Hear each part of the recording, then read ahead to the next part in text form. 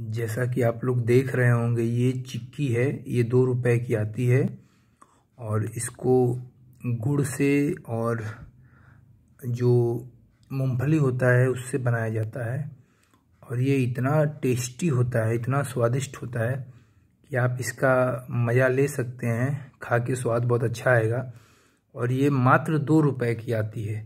तो आप इसको एक बार खाइए और इसका स्वाद का, इसके आनंद लीजिए।